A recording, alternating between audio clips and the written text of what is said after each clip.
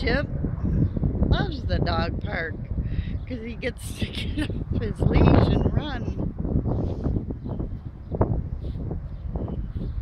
This is why I don't let him off his leash. He likes to run away from me. Yeah. Oh, a rock. A rock to pan. I'm just following him. Because he's looking for somewhere to get out. So I can chase him. But I'm glad this is closed up.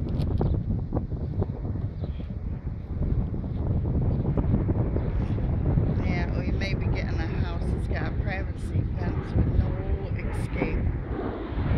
Airplane. I'm real close to the airport.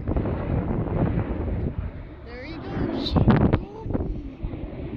There goes Chip.